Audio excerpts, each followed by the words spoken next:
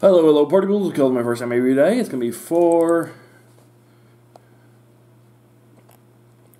Kimi to Boku Saigo, or I think it's something in the new. It's our last crusade in the new world. I'm just going to go with that for now. I'm going to get into. Yeah, I think it's something like that. I'm going to double check though because I want to be 100% sure because I don't want to try to pronounce it. This one can't see what the, consequence of this is. And it's exactly as I kind of figured. Well, or it's mostly as I figured without basically going into the full explanation of like how the stuff works. I figured both would get the power, but like only one got the power.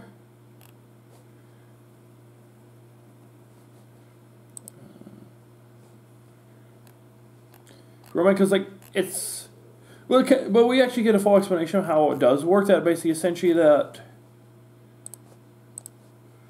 Well, let's, let me get. Let me. I'll get into it. Start from story point to story point, so I don't confuse myself. Also.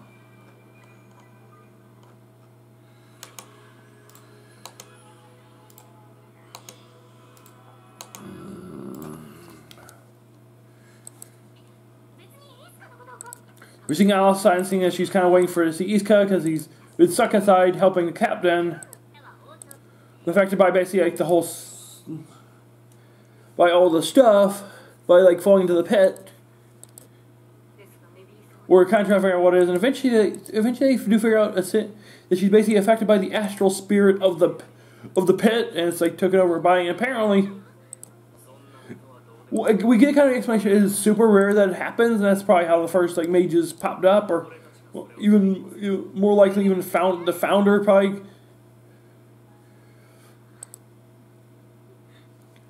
Got it from this as well.